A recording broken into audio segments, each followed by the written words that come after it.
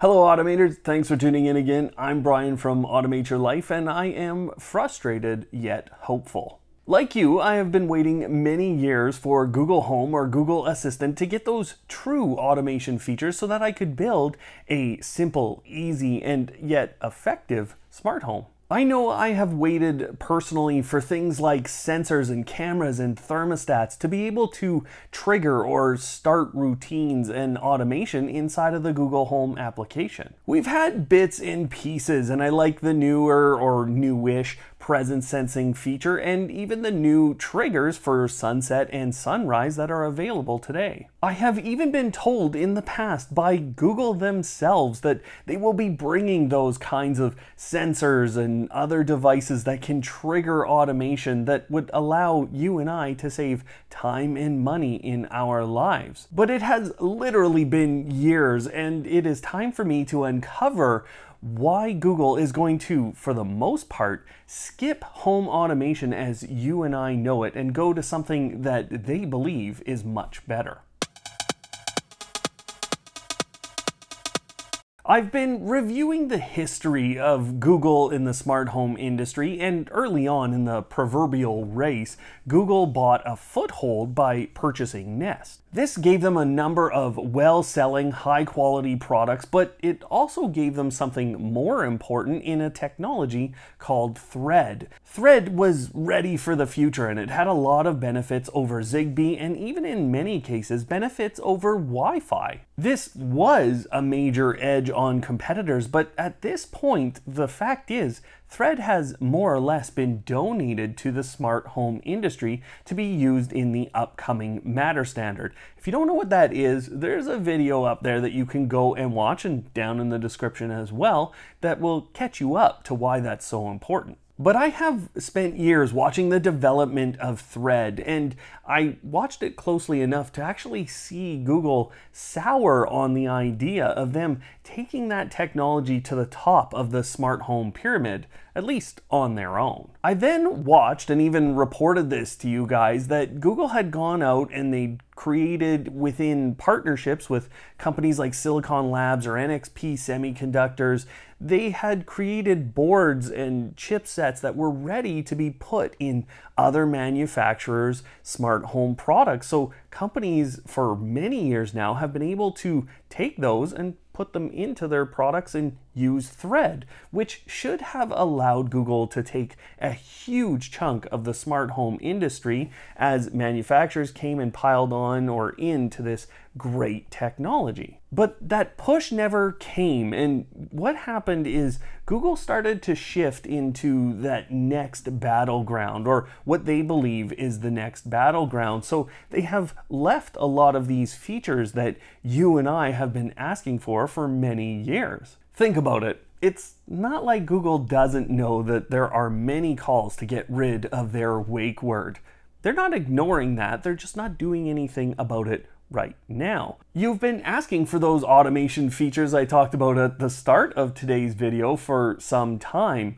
It's not like their cloud services can't handle it. I mean, they've been growing cloud services in terms of customers and how much they're actually putting on those cloud services for many years now, and in fact, making great strides there. It's definitely not based on an ability to program something like this or to create something like this. The fact is, Google has prioritized these kinds of things lower and lower as they focused more on that next battleground.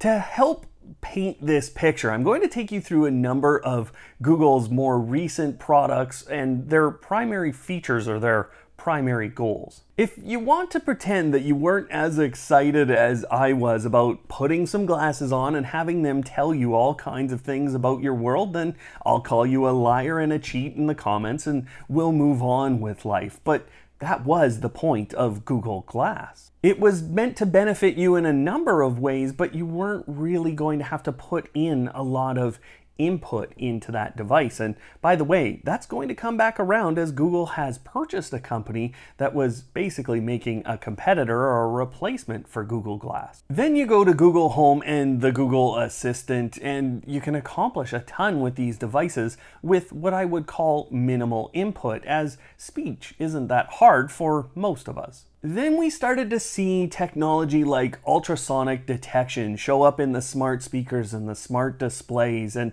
this would create minor features like the volume showing up when you walked up to the device, or on smart displays giving you a little more information. And that, coupled with one of my favorite features on the Nest Hub Max, was the fact that I could look at the device, it would know it was me, and then it would show me the content I wanted to see or tend its results towards me. Recently, I got to show you the Nest Hub second generation, which allows you to get all kinds of sleep data just by laying down next to the thing and turning on the setting. No input except your snoring required.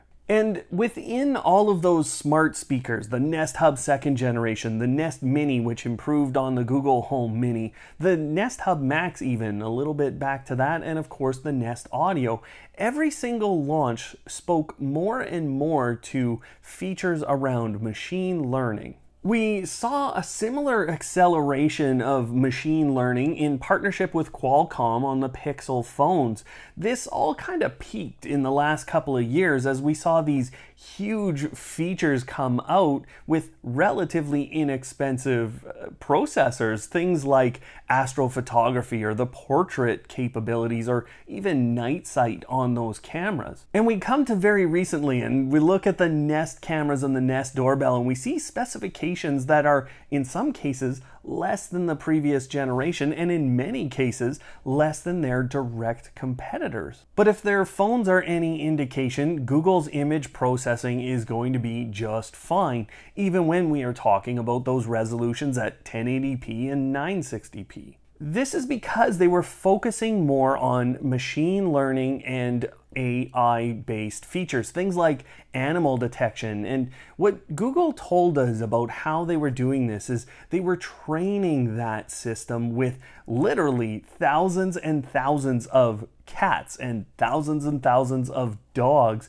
being put in making sure that the camera could recognize that different animal. So they were training AI. And now we have all of this excitement around the Pixel 6 and the Pixel 6 Pro, which includes a new processor that Google says is their own and looks to be co developed with Samsung in order to accelerate their ability to create more machine learning, more AI features, and just do more overall. They even came out and said, you know what, we were being held back by the Qualcomm processors or the previous processors that we were using in these areas. The Pixel 6 and the new Nest cameras, plus the newer smart displays, everything has been leading to what is essentially a launch point for that next battleground. They aren't looking at home automation as you traditionally know it because in a lot of cases, and I would argue that it's probably 90% of the world's population that would struggle with the idea of creating these home automation rules and making them work really well together in, in order to create that time and money that we talked about. Instead, they are building products with machine learning, artificial intelligence, and then that contain these other sensor types like Soli, which is in the Nest Hub 2, and then does that sleep sensing for you. They're creating these technologies that allow something that you and I would call ambient computing. Ambient computing to you and I really just means that the environment and the people and the situation, all of that is taken into account, and then beneficial things can occur for you or I. It's every futuristic movie or TV show that you've ever watched. The environment responds to you, and I would challenge you to find more than a couple of features that Google has put out in the last year that require a lot of input from you. The fact is, every time they put something out, all it's doing is reacting to the situation. But Google's now going to move the Android platform ahead with their new Tensor processor. They are going to take their new operating system called Fuchsia and allow that to be used with this system. Plus, they'll be taking the Google Nest speakers and smart displays and the Nest products that you know already and building that machine learning, artificial intelligence, and overall ambient computing system into those. They'll be teaching their devices what you will want to have happen. But this creates a bit of a frustration if you're a Google Nest owner because you've got to wait for this next battleground and they will not be focusing on these basic features that you and I are looking for. And that's why, in a lot of cases, I'm saying many people are going to move over to the Amazon Echo and Echo Show products here in the interim while that next battleground gets set up and we see who the eventual winner is of that one. That's why I'm going to recommend that you watch the video that is up on screen now, which will tell you about these new great features that Amazon has built that will cause many of you to want to head in that direction, even if it's just for a little while. Otherwise, thanks for watching today, and of course, don't hate, automate.